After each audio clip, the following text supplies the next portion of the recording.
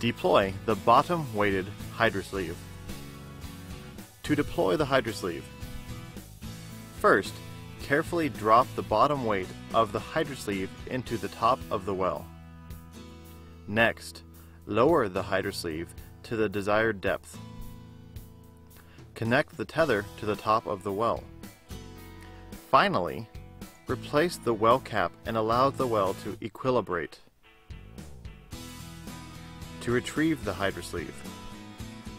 remove the well cap and while ensuring a secure grip, untie the tether.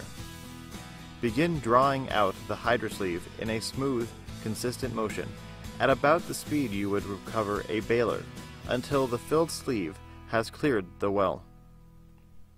Your HydraSleeve is now ready to discharge.